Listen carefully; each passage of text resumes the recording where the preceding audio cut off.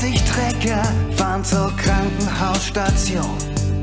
Beladen mit Geschenken für die Kinder, die dort wohnen. Schaut uns zu und spendet ganz nach eurer Wahl. Wir bringen euch zum Strahlen. Hell erleuchtete Traktoren aus der Landwirtschaft fahren in